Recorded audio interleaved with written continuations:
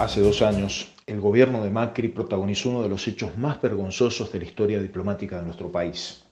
El acuerdo entre la República Argentina y el Reino Unido de Gran Bretaña del 13 de septiembre de 2016, conocido como Acuerdo Forador y Duncan, no solo constituye el más grande retroceso en la reivindicación de soberanía por la cuestión Malvinas desde la guerra del 82, sino que es un pacto que consagra una nueva relación colonial en favor de la potencia ocupante de una parte sustancial de nuestro territorio nacional.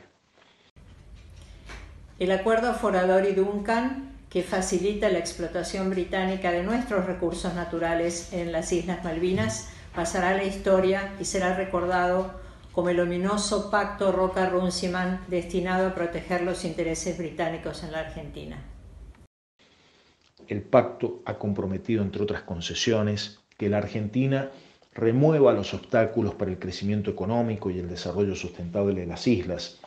lo que implica la más grave entrega de los recursos naturales al neocolonialismo británico en el siglo XXI. El acuerdo firmado el 13 de septiembre de 2016 por Macri y Theresa May no solo viola la Constitución Nacional, sino que entrega el Atlántico Sur y el futuro de los argentinos. A dos años de ese infame pacto, reiteramos nuestro rechazo y denunciamos que el gobierno está ejecutándolo sin contar con ninguna aprobación del Congreso Nacional. Una vez más, alzamos nuestra voz y decimos, las Malvinas siempre fueron, son y serán argentinas.